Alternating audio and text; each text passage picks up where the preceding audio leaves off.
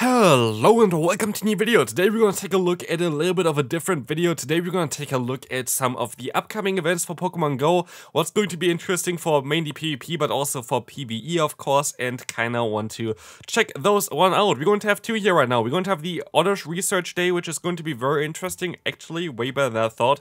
And also the Ultra Unlock Paldea which is going to start on Sunday this time around. So let's take a look at the Ultra Unlock first which is going to start from the 10th of September 10am till the uh, 15th of September till 10 a.m. as well, I think. So um, we're going to take a look here right now at the Pokemon that are getting a debut here right now. We're going to have Nymble and Lokix, uh, Dark and Bug type as well, as far as I know. We have Pawmi, Pawmo, and Pawmot, which is actually interesting because it's going to be the first Electric and Fighting type Pokemon coming to the game, which is uh, definitely an interesting Pokemon in general. We have Bombirdier, which is going to be a Flying and Dark type Pokemon, and then we're going to have the pseudo legendary of this generation, which is going to be Frigibax, Arctibax, as well as Baxcalibur. So otherwise, we're still going to have the 4 times XP and still the 4 times Stardust for catching. So that's going to be very nice, as well as the Golden Stop still going to be the same as we had for the last 5 days. Very great event bonus, especially the Stardust is going to be amazing. Looking now at the rates again here, we're going to see mainly one big change. It's going to be the Bombirdier here as like a 3 star rate. I'm definitely going to try to showcase this Pokemon immediately as soon as I can. Um, but uh, very interesting Pokemon in general, as you're going to take a look now afterwards as well at what those Pokemon can do, those new Pokemon. Otherwise, the unknown shiny rate kind of got confirmed to 1 to 25, which is kind of cool. I saw like reports of 1 to 64 in the beginning, but seems to be more like 1 in 25, so a 4% chance of getting a shiny unknown. It's still going to be Paldea as an unknown form there, so that's going to be interesting. We're going to have the swap as well now for the um, Kartana and the Celesteela, which is also going to be interesting if you want to have the um, Kartana Celesteela, definitely decent Pokemon and still Mega Manectric and Raids. What you're also going to have here are those wild spawns right now. We're going to have three new ones that you can go get into the wild here, which is going to be Nymble, Pawmi, and Frigibax. Frigibax is going to be insanely rare, most likely comparable to Jangmo-O last year, if you remember this one.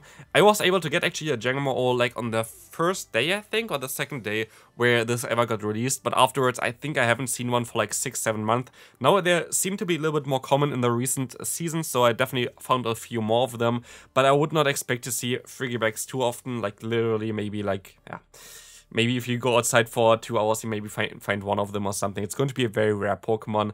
So definitely going to try to showcase this Pokemon as well as soon as it's going to be available. Hopefully I'm going to be able to find one because it's actually going to be very interesting. So now let's take a look at some of the new Pokemon. First one, we're going to have here Lokix. It's going to have the Bug as well as Dark type as far as I know, which is going to have a little bit of a high attack stat here, okay stamina and very low defense to be fair, max CP 2619 D rank here because if you see the fast moves especially, you're going to have Bug Bite and Sucker Punch. Both stab, but both are pretty horrific and you kind of want to have like kind of maybe a buff for Sucker Punch I would love to see for the upcoming season or whatever.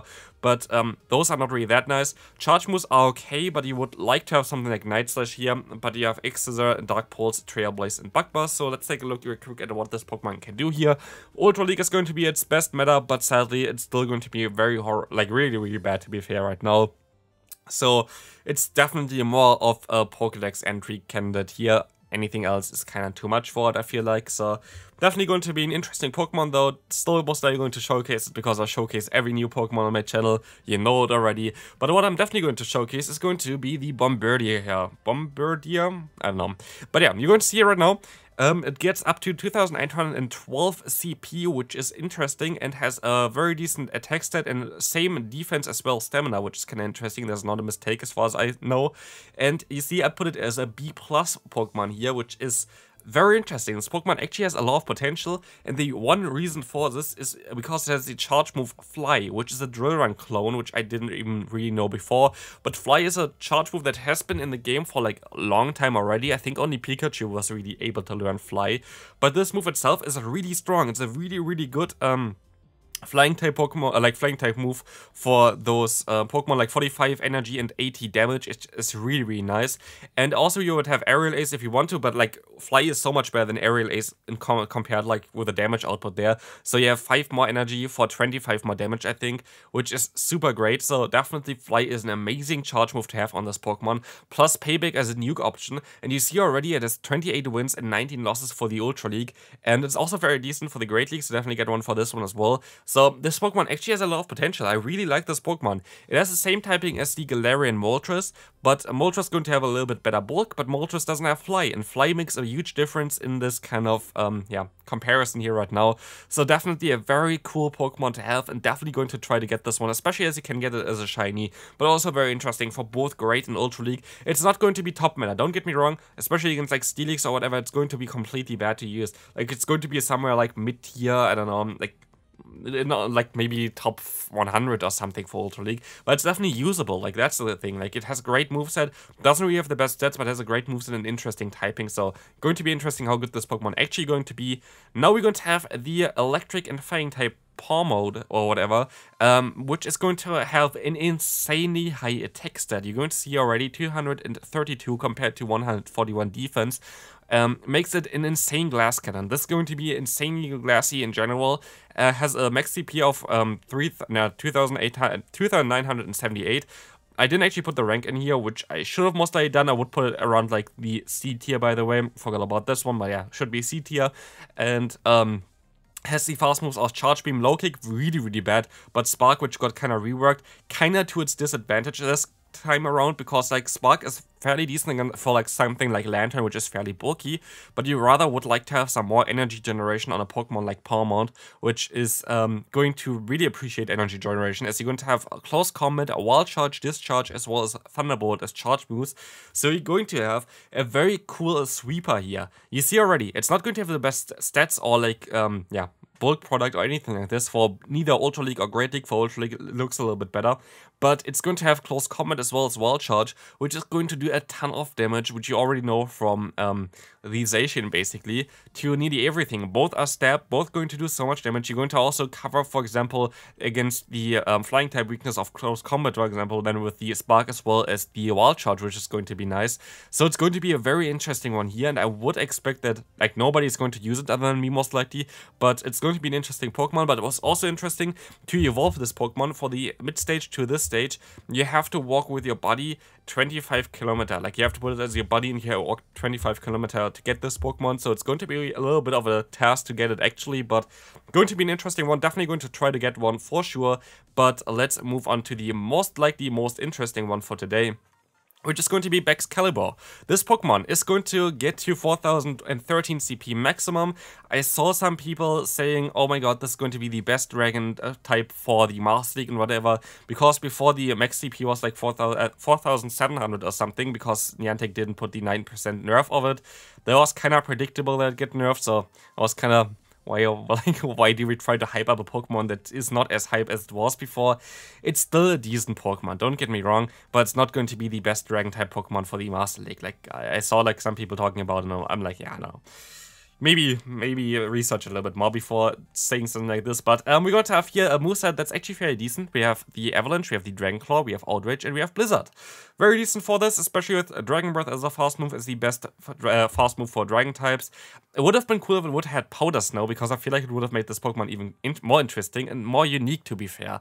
Because right now, with uh, Dragon Breath, uh, the Dragon Claw, and the um, Avalanche, you're fairly similar to Kyurem. So if you want to really run it in the Master League, you always have to compare to Kyurem, and um, while it's decent for the Master League, you really kind of only want to use it for, honestly, a Master League Premier Cup, because Kyurem is just better in my opinion. Having um, the debuffing move, what's called uh, Glaciate, which is just a better Icy Wind, I, I, don't know. I feel like Kyurem is just a better Pokemon to use. Like, but let me know in the comment section what you think about Baxcalibur. But I feel like it's not as great as people make it up to. It's like ranked 20, I think, on PvPoke for Master League, so it's not bad. Don't get me wrong, it's not bad.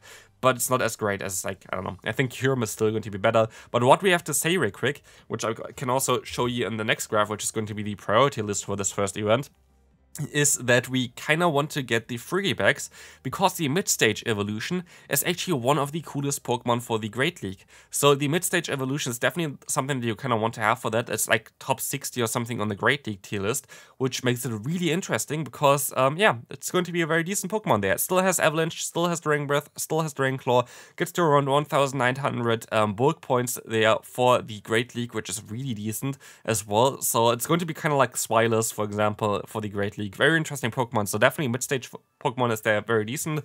We put those starters a little bit lower because, um, yeah, like we had them already for a week. I just kind of made them a little bit of a tier list. The Fire Starter the best one, the Duck is the second best one, and then the Kitty is sadly the worst. We're going to have in the lowest tier, of course, some Pokemon that are really not usable like the Kleavor from Raid, for example, is not reusable right now. Nymble is just sadly horrific, so it's C tier.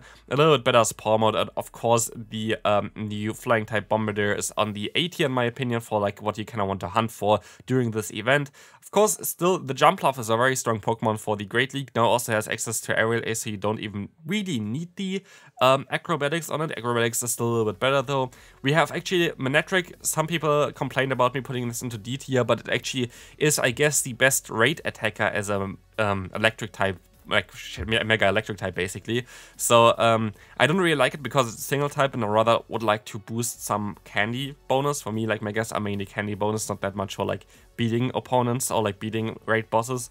So for that reason I put it a little bit low, but still people said it's the best one for electric, so I definitely put it a little bit higher up. But yeah, this is kind of the tier list for this one. We can move on now real quick into the Oddish Research Day, which is a very fast one, real quickly as well, which is going to allow us to get Oddish, of course, from field research, which you always had, and had a higher shiny chance, which is usually, I think, like 1 in 1 in 10 or something, 1 in 10 shiny chance, usually, I think, from Research Day. So Definitely a solid way to get some shiny Oddish, maybe even a Shundo if you're lucky. You're gonna get two times Stardust, which is really cool as well. This is going to be on the 17th of September, as you can see there, from 2 to 5 p.m., um, which is going to be actually really cool that we have two times Stardust, which you're gonna see later on. Um, we're going to have the higher uh, chance of XXS and XXL Pokemon. We're going to have also the um, what's called the showcases for this Pokemon available at the same time, which does make sense in that we have XXS and XXL from them. But we're also going to have uh, that Oddish can now hold the Sunstone, which is going to be interesting. Of course, he needed to evolve the Oddish into the Bellossom, but also we had like similar stuff already happening for Rayquaza, which was able to hold a Meteorite. So now Niantic basically gave us the option for Pokemon to hold certain items, which they might want to expand on for the future, which I find is a very cool update and something that I actually didn't know that they could do this yet, but that's going to be very interesting. Uh, definitely something that I would want to see in the future for a few Pokemon that they maybe hold some items, so it's maybe a little bit rewarding to get like certain Pokemon. That would be really cool to see, but let's take a look real quick at the wild spawns here, which is the main thing for this event to be fair. Not so many very decent ones for the um, for PvP in general. Roselia, Roselia is kind of nice. I didn't even make a tier list for this one. But what you kind of really want to have is uh, Paras, Shroomish, and Foongus. Those Pokemon give you extra Stardust, and this extra Stardust plus 2 times Stardust going to be amazing for you to get some more starters as well. Of course, now we're going to have still five more days afterwards um, for the next event with like four times starters, but two times starters plus um, extra starters from Paras, Foongus, and Shroomish might be really decent, so definitely try to hunt those down. But yeah, this is going to be it for this short video about the upcoming events. Hope you enjoyed it. If you did, feel free to leave a like, and I'll see you then. Bye bye.